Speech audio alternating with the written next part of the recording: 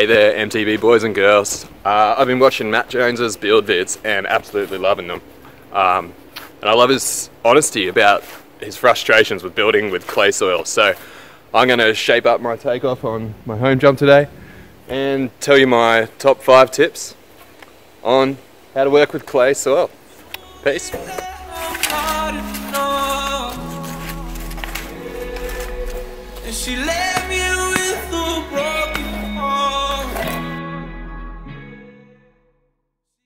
Okay, so we all see these how-to vids of digging and they're shaping up these perfect jumps, this lovely like sandy light brown soil. We go home, try to have a dig and then we end up with this. And this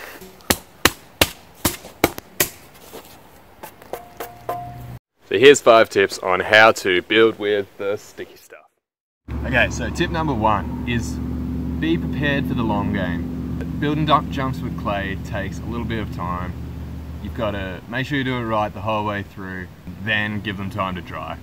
If you don't, you're just going to get ruts. It's not going to look super shiny and beautiful like you see in all the videos. Yeah, just take your time, do it right, follow the rest of the tips, and you'll be sweet in the end, with that little extra effort, the jumps are gonna last a lot longer than the sand ones.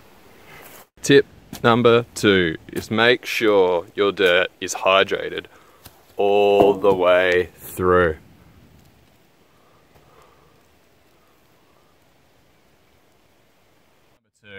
You've got dirt that's really nice and wet, but you can ball it up and it'll crumble.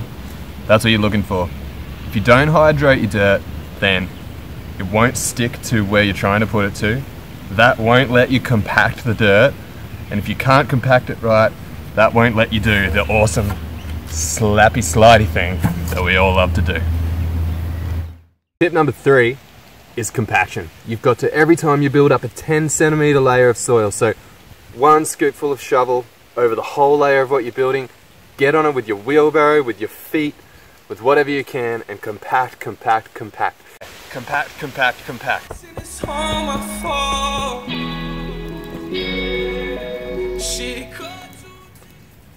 If you don't just constantly compact as you go, you'll end up with a squishy inside dry layer. As soon as you compact the top layer, it'll push and crack and turn to waste. It'll eventually run off in the rain. Dodgy dodgy.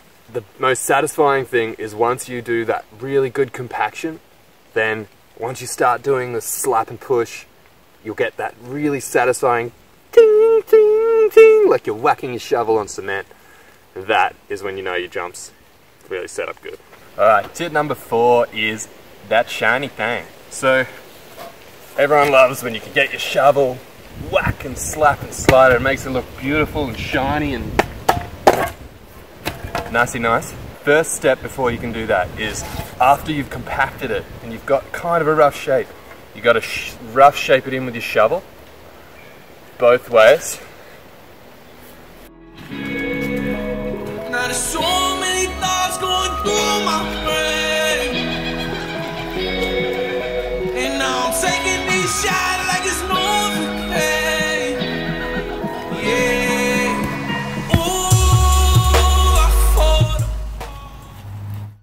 And just rub and crisscross until you get the shape that you want. Then after that, go back in, compact it again with your feet or your wheelbarrow or your bike tire. Then you can come in and do a good slap and push, slap and push, or a slap and drag. Whichever one you feel like works better for you. It'll really get going. And go over it three times, maybe more, until it's making that ting sound. You know it's really compacted and it's looking really good. Then you're ready to start making it shiny.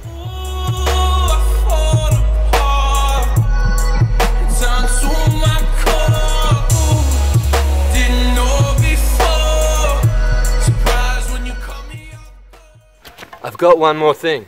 Gotta have your shovel really nice and clean and shiny and polished on the back. The difference between clay and sand that you see in a lot of the videos is it sticks to the back of your shovel and it's a bitch.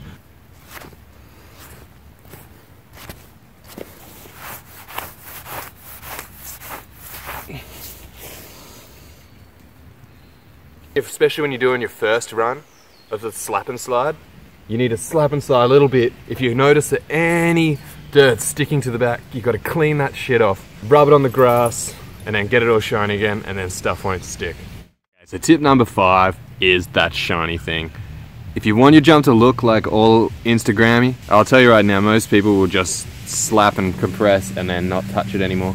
You're gonna have to think about it as adding a sloppy layer of clay on top that's kind of like plastering up a wall. Got to be prepared for cracking. It's going to crack when it dries because you don't have like reinforcement in it, like the chicken wire stuff. So you're going to have to really wet down your jump after you've slapped and compacted it.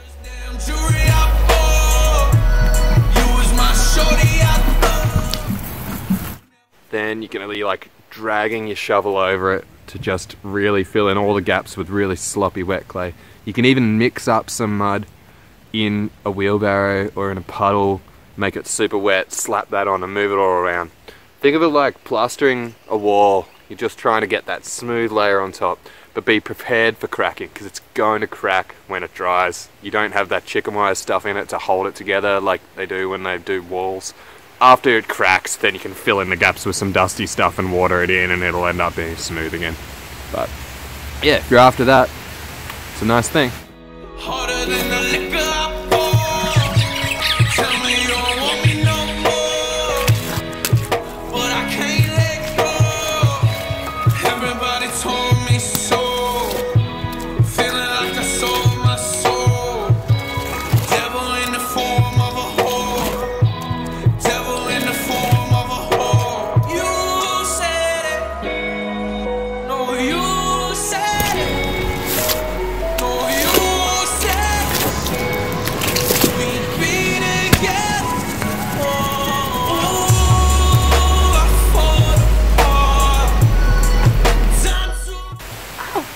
Started raining. I forgot to say one thing. So when you're compacting, man, it's gonna suck, but just learn to love that clay being all stuck on your shoes. Scrape it off with your shovel. It happens, man. Sticky stuff always gonna get stuck on there when you're trying to compact things, man.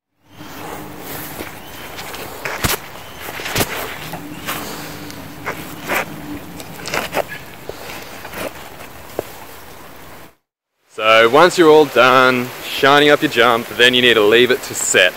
It's going to have to get a nice warm hot day, let it bake in the sun, turn it into something plastery. It's A lot of people chuck a carpet over it, but that kind of keeps it moist and lets it dry slowly, then you're going to get less cracking. So yeah, give that a go. I've had success with not even putting a carpet on because it got compacted nicely at the beginning. Yeah, it's up to you and hopefully you give it a shot and you're going to have fun building yourself some jumps.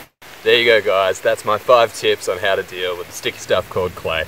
Uh, I couldn't find much on how to work with it, so hopefully this helps some people who are in the same situation as me. Yeah, don't forget to like, subscribe, and leave me a comment if there's something you'd like to see. I can build it at my house. Real good fun, man. Peace.